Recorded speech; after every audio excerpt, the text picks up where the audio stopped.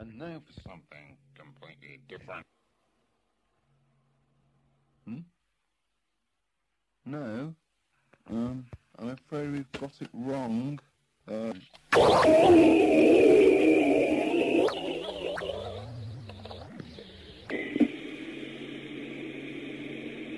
hmm? Forget it.